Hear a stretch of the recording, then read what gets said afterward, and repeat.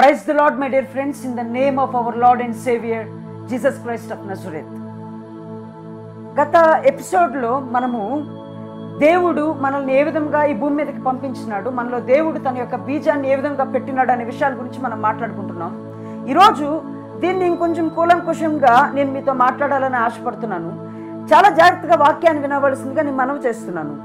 ఏంటి బ్రదర్ వాడిన మాటలనే వాడిన రిఫరెన్సెస్నే పెద్ద పెద్దగా రిపీటెడ్గా మాట్లాడుతున్నారు అని దయచేసి మీరు విసుక్కోకుండా ఈ రిఫరెన్స్ని పదే పదే వాడటంలో గల భావాన్ని మీరు తెలుసుకోవాలని నేను ఆశపడుతున్నాను. ఎందుకంటే బైబిల్లో ఉన్న దేవుడు ఎస్పెషల్లీ తన ఆత్మ ద్వారా కోట్ చేసిన ఆ కొన్ని ఇంపార్టెంట్ వర్సెస్ ఏమైతే ఉన్నాయో ఆ వర్సెస్ అనేవి కేవలం మనం చదివేసి వదిలేసేవి కావు కానీ వాటిని మన జీవితానికి అప్లై చేసినప్పుడు అవి మన జీవితాన్ని ఏ విధంగా మారుస్తాయి అనేది మనం తెలుసుకోవాలి మై డియర్ ఫ్రెండ్స్ మనము దేవుని మూలముగా ఈ భూమి మీదకి వచ్చిన వారమని.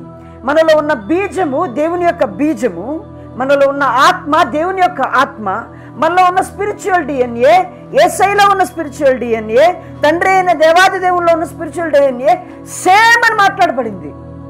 ఈ భూమి మీదకి మనము పంపబడినా సరే ఈ భూమి మీద మనం నివసిస్తున్నా సరే మనం ఎన్ని పోరాటాలు గుండా వెళుతున్నా సరే మనము మర్చిపోకూడని ఒక ఏకైక వాస్తవిక సత్యము ఏమిటి అంటే నీవు ఈ తల్లిదండ్రుల కలయిక ద్వారా ఈ భూమి మీదకి వచ్చినప్పుడు నీవు నీ తల్లిదండ్రులు ఎవరో అని అడిగితే మీ నాన్నగారి పేరు మీ అమ్మగారి పేరు ఏ విధంగా చెప్తావో ఈ భూమి మీదకి వచ్చినప్పుడు ఆత్మానుసారముగా ఈ భూమి మీద నీకు తల్లిదండ్రులు అన్నదమ్ములు బంధుమిత్రులు సకలము ఎంతమంది ఉన్నా సరే నీకు గాని నాకు గాని ఏకైక తండ్రి ఉన్నాడు.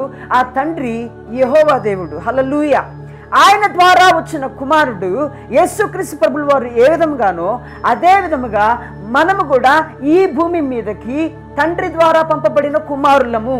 అయితే ఈ భూమి మీద మనకు ఒక స్వరూపము రావాలి కాబట్టి ఆ స్వరూపము ద్వారానే ఈ భూమి మీద మనం బ్రతకగలము కాబట్టి తల్లిదండ్రుల యొక్క కలయిక ద్వారా మనని దేవుడు ఈ భూమి మీదకి తీసుకువచ్చినాడు.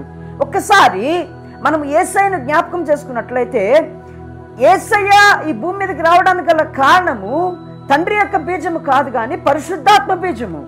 కానీ ఈ భూమి మీదకి ఏసయ్య రావడానికి తనకు ఒక స్వరూపము కావలసి వచ్చినప్పుడు ఆ శారీరకమైన ఆ స్వరూపము తల్లి ద్వారా ఏ విధంగా వచ్చినదో చాలా జాగ్రత్తగా గమనించండి. అదేవిధంగా తల్లిదండ్రుల కలయిక ద్వారా మనం కూడా ఈ భూమి మీదకి ఒక స్వరూపమును కేంద్రీకరించుకొని ఈ స్వరూపము ద్వారా మనము కేవలము లోకానుసారంగా జీవించడం కాదు కానీ మనలను ఈ భూమి మీద పంపించిన దేవుని యొక్క చిత్తాన్ని తెలుసుకొని మనలో ఉన్న బీజాన్ని మనం ఐడెంటిఫై చేసుకొని నేను ఈ భూమి మీదకి తండ్రి ద్వారా పంపింపబడ్డాను.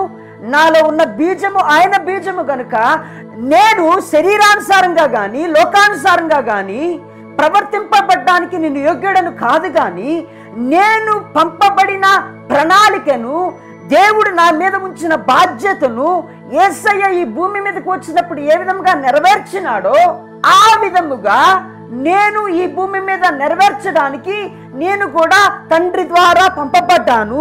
నాలో ఉన్న బీజము నా తండ్రి బీజము ఆయన దేవుడు. నాలో ఉన్న ఆత్మ నా తండ్రిలో ఉన్న ఆత్మ ఆయన దేవుడు. ఈ భూమి మీదకి నేను పంపబడినప్పుడు నాలో దేవుడు ఉంచిన ప్రతి ప్రణాళిక పరిశుద్ధ ఆత్మ ద్వారా పరలోకము నుండి దేవుడు నాకు కమ్యూనికేట్ చేస్తున్నారు. కాబట్టి నేను లోకస్తుల వలె ఐడెంటిటీ లేనివాడి వలె నేనెవరో నేను తెలుసుకోలేని వాని వలె నేను ఏమాత్రము ప్రవర్తించను అని నువ్వు ధైర్యంగా చెప్పగలగాలి. ఇంత నీకు ఎప్పుడు తెలుస్తుంది అంటే మనం ఇప్పుడు చదువుకున్నాము. దేవుని వాక్యాన్ని ఒకసారి చూసినట్లయితే మొదటి యోహాను పత్రిక ఐదవ అధ్యాయము నాలుగవ వచనం సెలవిస్తుంది. ఏమని అంటే దేవుని మూలముగా పుట్టిన ప్రతి ఒక్కరూ లోకమును జయిస్తారు. లోకమును జయించిన విజయము మన విశ్వాసమే అని దేవుని వాక్యం సెలవిస్తుంది. ఇంత గొప్ప విశ్వాసం నీకు ఎలా వస్తుంది? ఇంత గొప్ప విశ్వాసం ఎలా వస్తుంది?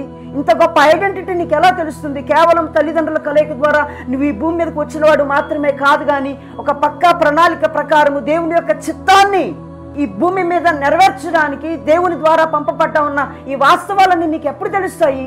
కేవలము మనం దేవుని యొక్క వాక్యాన్ని మనస్ఫూర్తిగా స్వీకరించి దానిని మనము మెడిటేట్ చేయడం ద్వారా దేవుని యొక్క చిత్తాన్ని మీరు నేను శ్రద్ధగా తెలుసుకోగలుగుతాం.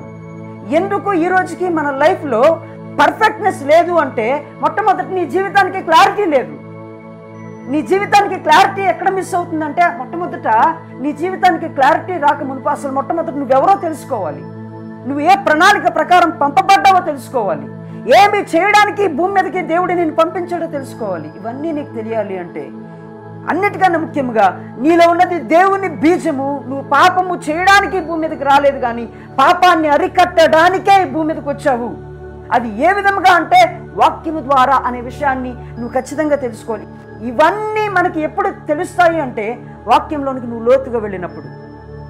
Right from the beginning short sermons episode one నుంచి ఈ రోజు వరకు మీరు చూస్తున్న ఎపిసోడ్స్ అన్నింటిలో సెంట్రల్ థీమ్ ఏమిటంటే వాక్యం live in God's word when you live in God's word everything is very easy very easy ఎన్ని భయంకరమైన కష్టాలు కూడా నువ్వు వెళ్ళు. వాటన్నింటిని ఈజీగా జయించి బయటకు వస్తావు. ఎందుకంటే వాటన్నింటినీ జయించడానికి కావలసిన సామర్థ్యం కంటే అత్యధికమైన సామర్థ్యాన్ని దేవుడు నీ యొక్క ఆత్మీయ బీజంలో ఆల్రెడీ ఉంచినాడు కాబట్టి. ఇది ఎప్పుడైతే నువ్వు తెలుసుకుంటావో నీ జీవితంలో దేవుడు గొప్ప కార్యాలు జరిగిస్తాడు. God bless you my dear friends అందుకే నీ ఆత్మీయ జీవితం ఎంత బాగుంటే ప్రతి విషయంలో నువ్వు అంత బాగుంటావు. నీ ఆత్మీయ జీవితంలో నువ్వు ఎంత ఎదిగితే ప్రతి విషయంలో దేవుడు నిన్ను అంతగా దీవిస్తాడు. అది సామాజిక పరంగా కావచ్చు కుటుంబ పరంగా కావచ్చు నీ పర్సనల్ లైఫ్లో కావచ్చు నీ మ్యారేజ్ విషయంలో కావచ్చు ఇంకా నీ మినిస్ట్రీ విషయంలో కావచ్చు మరి ఏ విషయం